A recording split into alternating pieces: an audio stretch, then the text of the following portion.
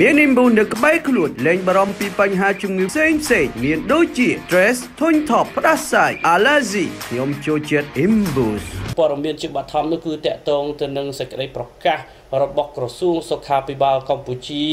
ថាថ្ងៃទី13ខែមេសាឆ្នាំ2020នេះ គឺជាដំណឹងល្អមួយដែលមិនមានករណីឆ្លងថ្មីនៃ COVID-19 នៅកម្ពុជាទេខណៈដែលអ្នកជាសះស្បើយគឺកើនចំនួនសរុបចំនួនដល់ទៅ77អ្នកហើយដោយឡែកអ្នកដែលកំពុងសម្រាប់ព្យាបាលជំងឺ COVID-19 នេះគឺនៅសល់ត្រឹមតែ45នាក់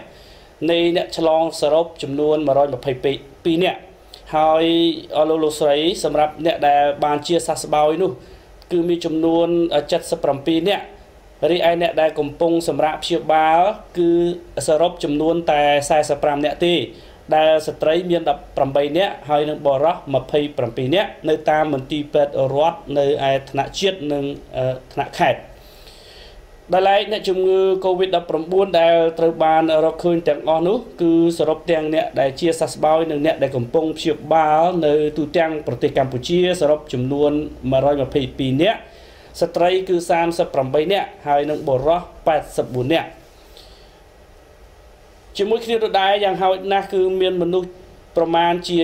79000នាក់នៅកម្ពុជាបានធ្វើតេស្តរោគមេរោគ COVID-19 ដែលចំនួននេះគឺច្រើនជាងបណ្ដាប្រទេសមួយចំនួននៅក្នុងតំបន់អាស៊ាន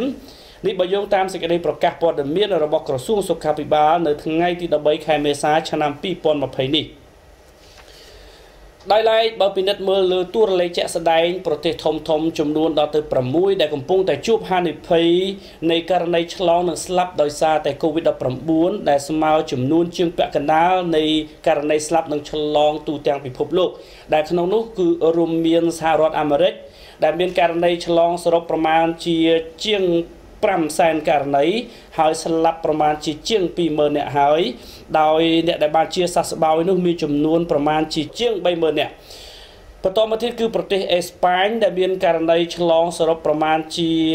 ជាង1សែនករណីដែរហើយអ្នកស្លាប់នោះគឺជិត20000នាក់ទៅហើយដោយជាសះស្បើយប្រមាណជាជាង60000នាក់បន្តមកទៀតគឺប្រទេសអ៊ីតាលី